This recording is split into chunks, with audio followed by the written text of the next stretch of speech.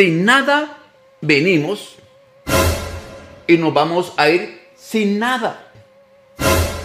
Entonces, ¿para qué nosotros vamos, vamos a estar aquí peleándonos, esforzándonos por adquirir cosas que ni trajimos ni tampoco nos las vamos a llevar?